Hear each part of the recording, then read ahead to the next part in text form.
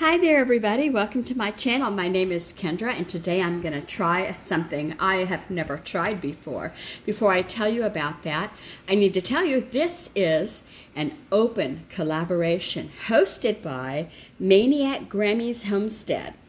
If you'd like to get in on this, you just do something in the kitchen on Saturday and that can be talk about your favorite cookbook and one of the recipes within, maybe organizing your silverware drawer, making a recipe, um, organizing your refrigerator, anything. Mix it up in the kitchen, says she, our host, MAINEiac Grammie's Homestead.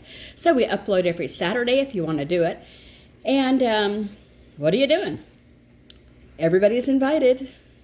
Tomorrow's Sunday. No, wait, I was going to say today is Saturday. And I want to tell you that I am going to do two videos today. You may not be interested in the second one unless you're into dolls, but I've become into dolls, and I'm going to be talking about one of my babies. And um, it's a collaboration.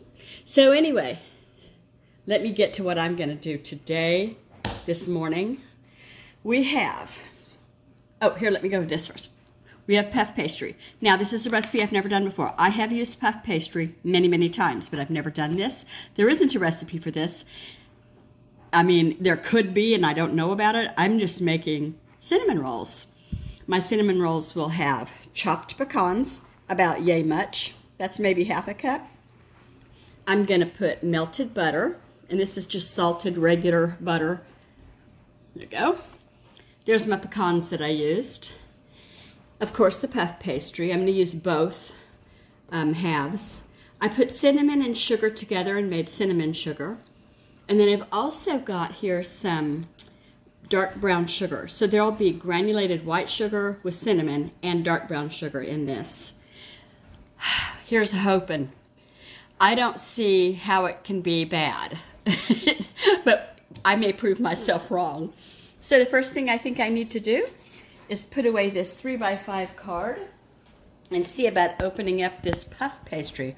I'll show you what it looks like inside in case you've never used it. I use the Pepperidge Farm brand. I love it best. Comes with two sheets and they're ready to bake. You just gotta take them out of your freezer and open them up. I like to use this flour when I'm baking for um, when you grease and flour a pan, for when you flour a cutting board, whatever. If you watched a few days ago, I dropped it from the highest shelf and I busted the bottom of the can so it's, um, it's no longer sealed but I don't want to throw it away, and I can still use it, so I put it in a Ziploc plastic bag and stuck it back up in my cupboard. I'm about to use it.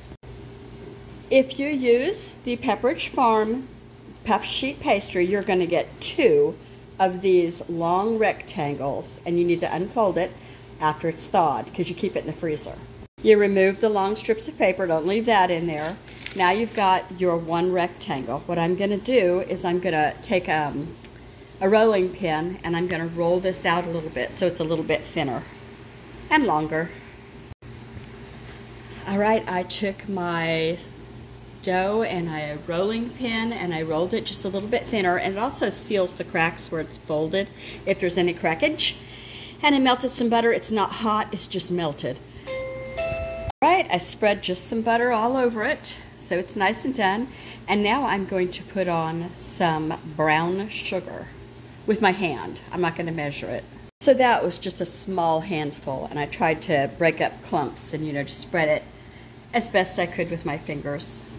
Now I'm going to take white sugar and cinnamon, and this is heavy on the cinnamon, more than I use for cinnamon toast, but I wanted more, you know, cinnamon flavor. Cinnamon sugar has been applied, and now I'm going to crack some nuts into little pieces. Maybe I'll get a knife, it'll take less time. I used a knife to chop up those nuts. You saw how much, and that's, there they are. Now I'm gonna roll this like a cinnamon roll. And this is not a recipe, I'm telling you. I made this up in my head, hoping it'll work and actually look and taste and feel like cinnamon rolls, but with puff pastry. So we will see.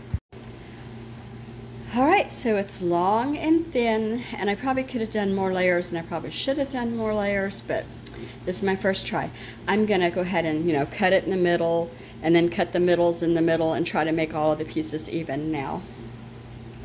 I forgot to say, I got a cutting board because I don't know if you should cut on these Silpat things. I don't think so. And I've got a long, big baking dish. My oven's at 375 with parchment so nothing sticks to it. Got the second piece down. It made eight rolls, so we'll have 16 altogether if this one does the same. I'm gonna open the paper out now. Put more flour on the Silpat, even though it's supposed to be nonstick, I still did it.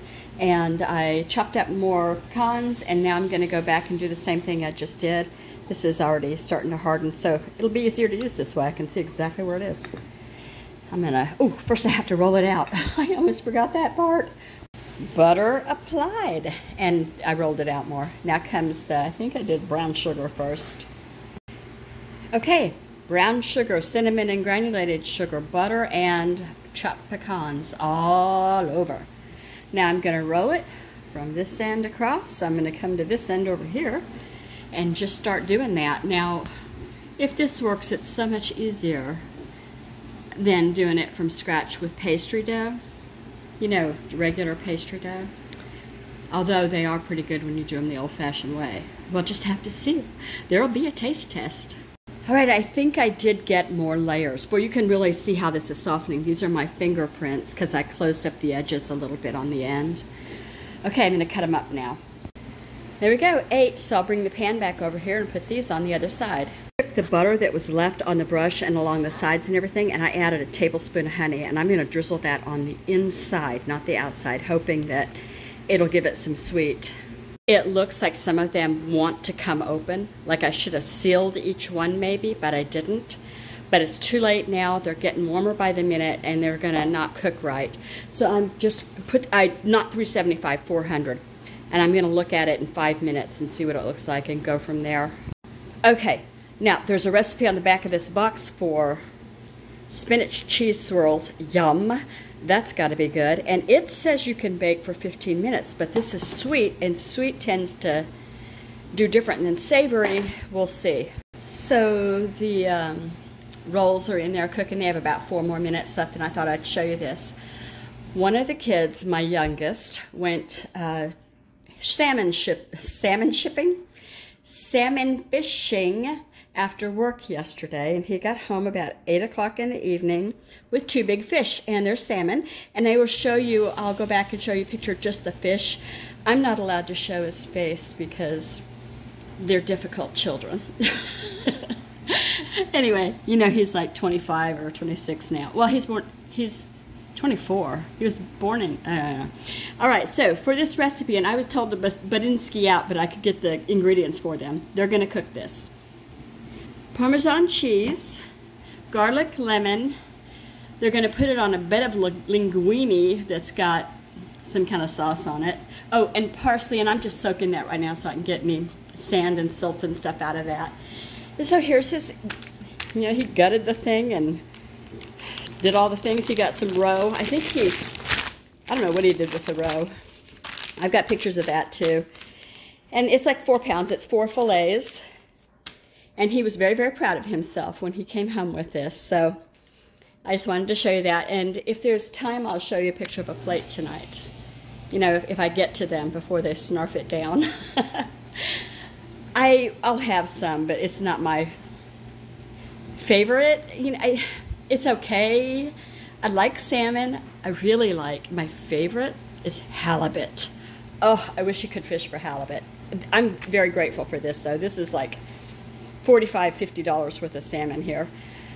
Um, but anyway, I like halibut. I like cod, love it. I like um, catfish, love it. You know, like that.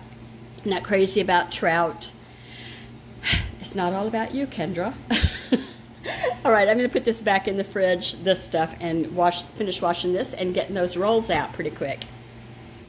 Oh, I'm to run you some pictures. So you'll see some pictures right after this of them in their whole state. And it occurs to me I didn't flip them over for you.